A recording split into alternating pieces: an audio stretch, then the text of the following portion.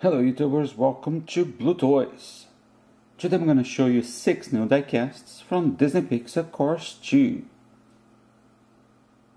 These three right here are deluxe editions from Mattel.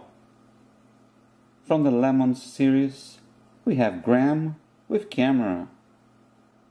From the Meldorado show, this is Wild Miles Axlerod. And from the All in All Blowout, this is Towin Eoin. And exclusive from Disney Store, here we have three custom cars. Custom Lightning McQueen, Custom Mater, and Custom Ramon.